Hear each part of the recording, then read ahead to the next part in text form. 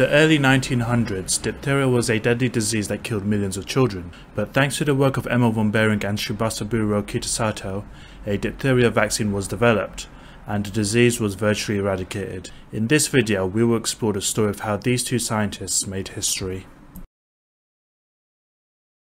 In 1878, a German physician graduated from the Humboldt University of Berlin, then called the Kaiser Wilhelm Academy. His name, Emil von Behring.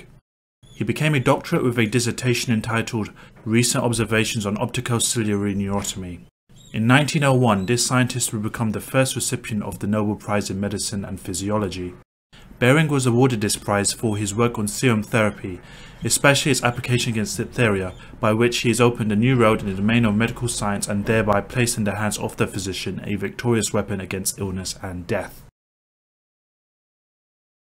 Emil von Behring was born in 1854 to a family of 13 children where the father of the household was a prestigious schoolmaster. When Emil became 20 years old, between 1874 and 1878, he studied medicine at the Kaiser Wilhelm Academy, an academy for military doctors as his family could ill afford university. As a military doctor, he would study the action of iodoform, a disinfectant used in medicine as a healing and antiseptic dressing for wounds and sores stating that iodoform does not kill microbes but may neutralize the poisons given off by them, thus being antitoxic. His first publications on these questions appeared in 1882. This research would later make an impact into his Nobel Prize winning work on utilizing serum therapy to treat diphtheria, where iodoform treated diphtheria toxin would be injected into animals to protect them from disease. In modern day practice, most applications of iodoform have been replaced with superior antiseptic chemicals and concoctions. However, iodoform is still utilized in ENT medicine in the form of bismuth subnitrate iodoform paraffin paste, or BIPP for short, as an antiseptic packing for cavities. He would also go on to perform a series of experiments on optociliary neurotomy, also known as neurotomia opticociliaris, a surgical procedure that severs the optic nerve, the nerve that connects the eye to the brain. He was interested in the potential of this procedure to treat glaucoma, a condition that causes raised intraocular pressure, that is to say, increased pressure within the eye. This would typically involve placing the patient under general anesthesia, making a small incision in the sclera, the white outer layer of the eye. The optic nerve is then severed and the incision is then closed. The recovery from optociliary neurotomy is typically slow and can take several months. There is also a risk of complications such as infection, bleeding, and damage to other eye structures.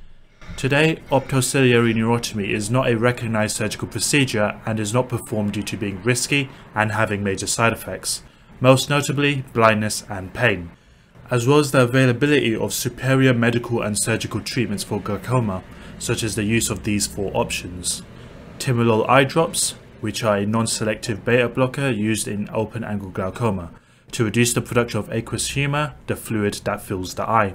Pilocarpine eye drops, a parasympathetic muscarinic agonist used for closed-angle glaucoma, causing ciliary muscle contraction and increasing the outflow of aqueous humor into the trabecular meshwork. Trabeculotomy, a surgical procedure that creates a new drainage pathway for aqueous humor by making a small incision into the trabecular meshwork with a recovery time of 2 to 4 weeks.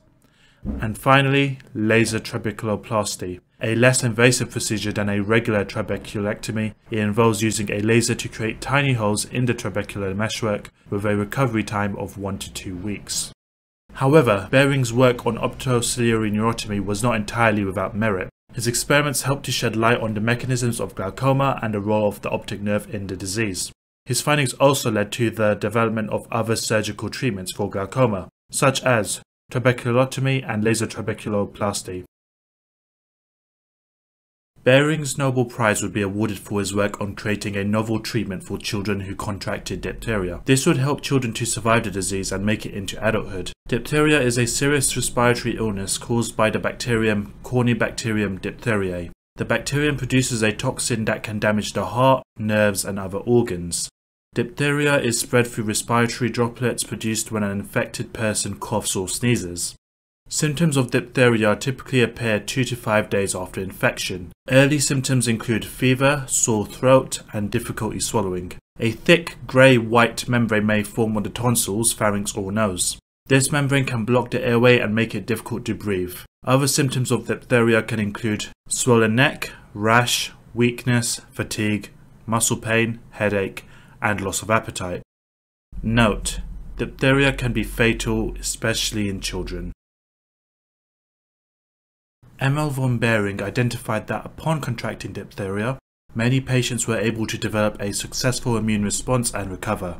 He would try to gather the serum from these patients with the hope of isolating what was then referred to as the antitoxin, producing diphtheria antitoxin serum, and then inject these into humans. As a result of only being able to collect a pint of potentially life-saving diphtheria antitoxin serum from each patient, Emil von Behring and his colleagues used horses and sometime later sheep as a source of diphtheria antitoxin. Using sheep allowed the production of comparable levels of the diphtheria antitoxin, yet sheep were of smaller size and easier to handle. Note, you will find that the term antitoxin is used throughout this video, as this was the term that was used in Behring's research. What was essentially injected into these patients, the so-called antitoxin, was in fact simply blood plasma, albeit without the clotting factors as the blood was allowed to clot before blood plasma was collected. However, this antitoxin still contained the disease-specific antibodies, which was what we believe was actually treating these patients. So, from where did Behring even get the diphtheria toxin to inject into sheep, horses, and finally humans? As these were the very early days of immunology, with Louis Pasteur only having just invented pasteurization in 1864, 24 years prior to Behring beginning his lab work on serum therapy in 1888. So in 1888, at the Pasteur Institute in Paris, Emile Roux and Alexander Yersin isolated diphtheria toxin using a series of experiments. First, they grew cultures of Corynebacterium diphtheria, then they filtered the cultures to remove the bacteria, leaving behind a filtrate that contained the toxin. Next, they injected the filtrate into animals and they observed that the animals developed symptoms of diphtheria. This showed that the filtrate contained the toxin that was causing the disease. Finally, they purified the toxin by passing it through a series of columns that contained different materials. This process removed other proteins and impurities from the toxin, leaving behind a pure form of the toxin.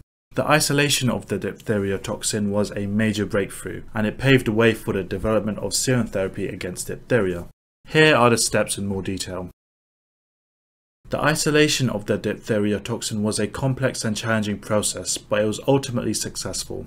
This discovery led to the development of serum therapy within the very same year, which saved millions of lives. The production of antitoxins involved drawing blood from a vein of a horse via venipuncture, placing it into a glass bottle, spinning these samples at very high speeds in a centrifuge so the lighter fluids rose to the top, called a supernatant, rich in the desired antitoxins, and the heavier fluids settled to the bottom, called the pellet, which was to be discarded. These serums would then be treated with various chemical agents such as ammonium sulfate, sodium chloride, hydrochloric acid, sodium hydroxide and other reagents. Ammonium sulfate used for protein precipitation, removing unwanted proteins and impurities from the serum. Sodium chloride, also known as common table salt, employed to maintain an osmotic balance or promoting protein solubility. Hydrochloric acid and sodium hydroxide to help adjust the pH of the solution, as well as other reagents, which can include buffers, enzymes, or substances required for specific biochemical assays or reactions. He later determined a minimum effective dose of antitoxin to help standardize the antitoxin vials that were airtight, sterile, inexpensive to produce, easy to label, and store. These were to be placed into mass production and consequently administered onto patients, a standard that would be adopted in vaccine development. By establishing a consistent potency, dosage, and safety regulations of serum therapies, Behring helped to improve the reliability and effectiveness of serum therapies achieving a standardization of serums. Serum therapy and vaccines are both medical interventions that can help protect people from infectious diseases. However, they work in different ways. Serum therapy involves injecting antibodies from an animal that has been immunized against a specific disease into a person who is not immune. The antibodies in the serum attach to the disease-causing microorganisms and help to kill them. Vaccines work by stimulating the body's own immune system to produce antibodies against a specific disease. This is done by injecting the person with a weakened or inactive form of the disease-causing organism. The body's immune system then recognizes the microorganism as a threat and produces antibodies to tackle it. Here is a table that summarizes the key differences between serum therapy and vaccines. Serum therapy is typically used to treat people who are already sick with a disease, while vaccines are used to prevent people from getting sick in the first place. Therapy can be effective in treating some diseases, but is not always available and can have side effects. Vaccines are generally safe and well tolerated, and they can provide long term protection against many diseases. In general, vaccines are considered to be the best way to protect people from infectious diseases. However, serum therapy may be used in some cases such as when a person is exposed to a disease for which there is no vaccine or when a person is too sick to receive a vaccine. Behring's discovery showed that it was possible to transfer antibodies from one animal to another. Although Behring has often been credited with being the founder of serum therapy in 1891, in truth, he is the co-founder. Diphtheria serum therapy was invented following the same principles of a prior serum therapy, that for tetanus serum therapy as co-invented by Japanese bacteriologist Kitasato Shibasaburo and Emil von Behring in 1890. The two developments being closely linked, Kitasato's efforts helped lay the groundwork for Emil von Behring's work on diphtheria serum therapy. Kitasato was born in Okuni village, Higo province, that is present-day Oguni town, Kumamoto prefecture, Kyushu, as son of a village head and Tei, the daughter of a samurai. His parents were strict about education and sent him to a relative's home and requested rigid discipline, and is said to have inherited his leadership qualities from his mother. He was educated at Kumamoto Medical School and Tokyo Imperial University. He then studied under Robert Koch at the University of Berlin from 1885 to 1891. Robert Koch being regarded as one of the main founders of modern bacteriology, who was a German physician and microbiologist who discovered the specific causative agents of deadly infectious diseases including tuberculosis, cholera and anthrax. Note, although the cholera bacterium was discovered by Filippo Pacini in 1854. In 1889, Kitasato became the first person to successfully grow tetanus bacillus in pure culture, this being a critical step in the development of a tetanus antitoxin. In 1890, he would cooperate with Emil von Behring to develop a serum therapy for tetanus in pure culture, pioneering the way for the new field of serotherapy. Tetanus is a serious, potentially fatal illness caused by the bacterium Clostridium tetani. The bacteria produces a toxin that affects the nervous system, causing muscle spasms and stiffness. Tetanus bacteria are found in soil and dust, and they can enter the body through a break in the skin. Common ways tetanus gets into your body include stepping on nails or other sharp objects, cuts or scrapes that are dirty or contaminated with dirt or feces, puncture wounds, and burns. Tetanus is often called lockjaw because one of the most common symptoms is tightening of the jaw muscles. After returning to Japan in 1891, he founded the Institute for Study of Infectious Diseases with the assistance of Fukuzawa Yukichi, a Japanese educator, philosopher, writer, entrepreneur, and samurai. One of his early assistants was August von Wassermann, a German bacteriologist and hygienist, who developed a complement fixation test for the diagnosis of syphilis in 1906, just one year after the causative organism, Spirochaeta pallida, had been identified, also known as the Wassermann test, allowing for the early detection of the disease. It was here that Kitasato demonstrated how dead cultures can be used in vaccination and studied the mode of infection in tuberculosis. Three years later, in 1894, he would travel to Hong Kong at the request of the Japanese government during an outbreak of bubonic plague and identified the causative bacterium. Yersin, working separately, would find the same organism several days later. Four years later, in 1898, Kitasato and his student Shiga Kiyoshi were able to isolate and describe the organism that caused dysentery. He would play a significant role in several other achievements and work with several medical scientists over the years, becoming the first dean at Keio University, first president of the Japanese Medical Association, and served on the House of Peers in Japan. He is to be commemorated in the new 1000 yen banknotes scheduled to be issued in 2024. By conducting multiple experiments, Behring and Shibasaburo demonstrated the concept of passive immunization, by administering antitoxin serum, also known as ready-made antibodies or B cells, to individuals, he demonstrated that it could provide temporary immunity or reduce the severity of the infection. This can occur naturally when maternal antibodies are transferred to the fetus through the placenta or induced artificially via immunoglobulin therapy or antiserum therapy. Passive immunity is still used today when people cannot synthesize antibodies and when they have been exposed to a disease that they do not have immunity against, for example rabies and snakebite.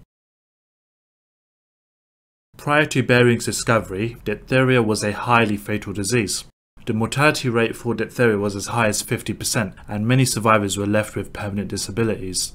Behring's serum therapy was able to significantly reduce the mortality rate for diphtheria to 15%, and it also helped to prevent many cases of the disease. Although this was not without its side effects, as there were allergic reactions to be wary of. The most common allergic reactions to the diphtheria antitoxin serum included urticaria or hives, angioedema, that is to say swelling of the face, lips, tongue or throat, and anaphylaxis, a severe allergic reaction that can be life-threatening.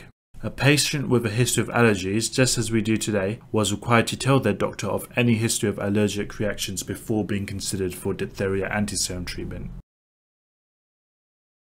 Today we use a modern subtype of plasma therapy, referred to as convalescent plasma therapy. Convalescent plasma therapy. Convalescent, meaning when a person is recovering after an illness or medical treatment. Plasma, referring to the part of blood which contains and transports antibodies, clotting factors, urea and CO2. This plasma typically rises to the top when blood is centrifuged at high speeds. Therapy, treatment intended to relieve or heal a disorder. Convalescent plasma therapy is a subtype of serum therapy that is the modern standard. Traditional serum therapy is rich in antibodies targeting a specific infection as the serum is attained from a previously infected patient with a successful immune response, but lacks clotting factors as these would disrupt absorption of the antibodies within the plasma.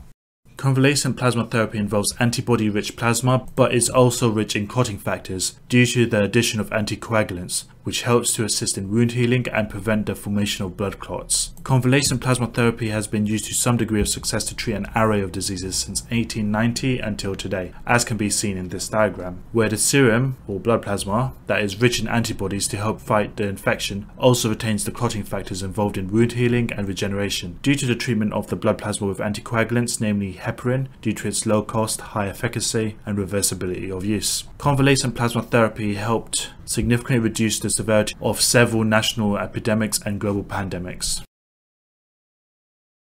The most prominent and is often thought to be the first reported use of convalescent plasma therapy was in treating a global pandemic in the years of 1918 to 1920, the Spanish influenza A or H5N1 pneumonia pandemic, also known as the Spanish flu pandemic, where a 2006 meta-analysis study of 1,703 patients from 8 suitable reports of Spanish flu found that treatment with convalescent serum therapy cut fatality rates by over a half from 37% in controls who weren't treated to 16% in those who were treated. Although there were mild adverse events reported in each of the studies of their meta-analysis, which included brief chill reactions and exacerbation of existing symptoms, with the rates of chill reaction being reported as 16%, 75% or 10% depending on the study formed.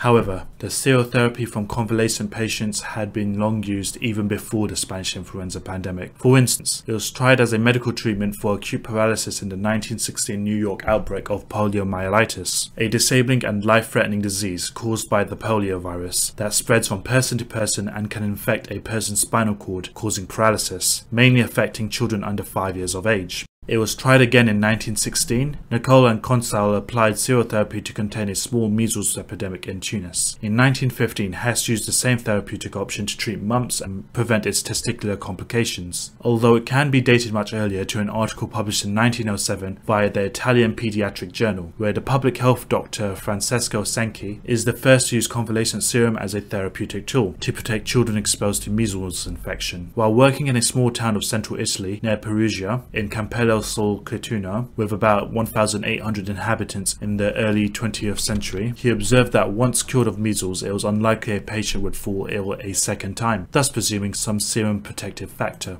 Three weeks after a 20-year-old man recovered from an epidemic outbreak in 1901, Cenci performed a bloodletting of 600 milliliters on this man, and after allowing blood to coagulate, he collected serum in three sterilized tubes, adding a solution of phenic acid, which is a disinfectant, as a protective agent. This convalescent serum was then used to inoculate four children between the ages of 4 and 8 years old, who did not contract measles after this treatment, unlike their cohabitant siblings. In order to ensure safety of the product, 60 hours prior to administration to patients, a portion of serum was inoculated into the peritoneum of a rabbit and also into the arm of Cenci himself, without this causing general or local reactions.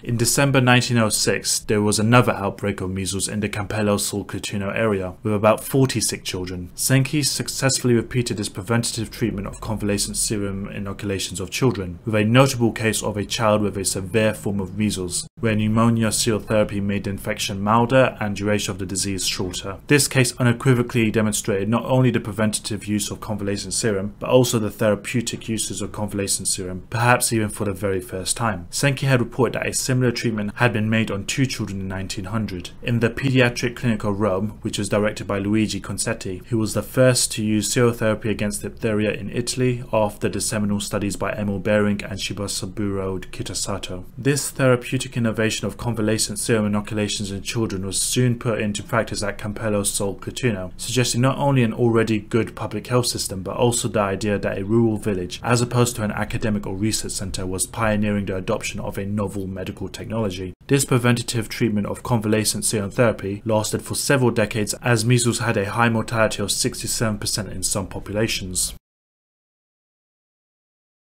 In response to the COVID-19 pandemic that began in Wuhan, China in December 2019, convalescent plasma therapy was trialed by various research scientists across the world. In addition to the existing strategies being used to treat the world pandemic, for example human behavior, vaccine development via mRNA, convalescent plasma therapy, stem cell therapy, and antiviral drugs. Six small-scale studies from 2020, within a year of the pandemic having begun, helped to confirm the safety of convalescent plasma therapy on varying sample sizes of hospitalized adults with severe or life-threatening COVID-19 where the incidence of serious adverse events were found to be less than 1%, and nearly all patients were successfully discharged or recovered from the COVID-19 infection. In study 1, all 5 critically ill patients with COVID-19 and ARDS showed improvement in their clinical status upon the administration of convalescent plasma. In study 2, all 4 patients, including a pregnant woman, recover. In study 3, 10 severe patients enrolled, confirmed via real-time viral RNA tests. 7 patients had undetectable viral load after 3 days. No adverse events in any of the patients. In study 4, there were two patients, both had improved,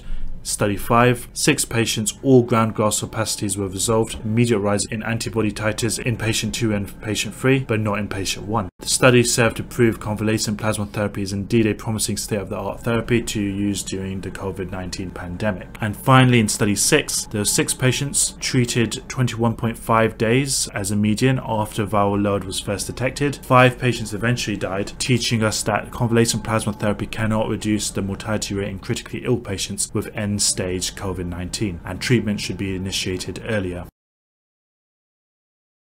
Although convalescent plasma therapy has been proven safe for severe COVID-19 patients and even in immunocompromised patients, it has not been proven to be effective. On 7th December 2021, the 7th update of the WHO guidelines for the use of therapeutics in the treatment of COVID-19 was released, with 12 updates so far as of the upload date of this video. The 7th update recommended against the use of convalescent plasma therapy on severe and critical COVID-19 patients. The World Health Organization claimed, and I quote, while the evidence that convalescent plasma has no benefit in non-severe patients was certain, it was less so in the case of severe and critically ill patients, so randomized clinical trials for these subgroups should continue. WHO stated that an independent panel of experts looked at pooled data from 16 randomized controlled trials, including 16,236 patients with non-severe, severe, and critical cases of COVID-19 infection. Although it would appear that this WHO study was not published into the public domain, and we have to take their word for it that convalescent plasma therapy is ineffective in even mild COVID-19 patients, which is unfortunate, considering there exist early small-scale studies that do support the fact that convalescent plasma therapy can improve the prognosis for COVID-19 patients, as earlier described, leaving those of us who have been following the WHO's response to the global COVID-19 crisis wanting for increased transparency.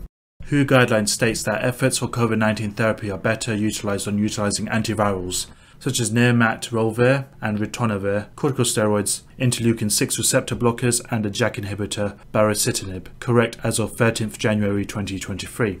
Ultimately, convalescent serum therapy was indeed found to be safe to use even in severe and critical COVID-19 patients, as corroborated by the World Health Organization with the rationale for WHO's recommendation against its use was due to the processes of identification of recruitment of potential donors, collection of plasma, storage and distribution of plasma, infusion of convalescent plasma into recipients, all being resource intensive and time consuming considering the inevitable healthcare reflecting on Behring's work of 1901. Behring's work was not without its critics. Some people argued that serum therapy was not a reliable or effective treatment. However, the work of Behring and colleagues was ultimately vindicated, and serum therapy became a standard treatment for diphtheria and tetanus. Behring and Shibasaburo were both humble and generous men. They were always willing to share their knowledge with others and were always looking for ways to improve the lives of others. Emil von Behring and Shibasaburo were brilliant scientists and true pioneers in the field of medicine. The work that gave rise to serum therapy was thanks to a combination of efforts by various figures, which included but was not restricted to Emil von Behring, Kitasato Shibasaburo, Paul Ehrlich, Eric Arthur Emanuel Wernicke, Emil Roux, Alexander Yersin, and Robert Koch, among others, which all helped to save countless lives and make the world a healthier place. These individuals are a true inspiration to all who follow in their footsteps. Thank you for listening to this video essay on Emil von Behring. If you liked it, be sure to give it a thumbs up. If you learned anything new or have any questions, ask away in the comments below.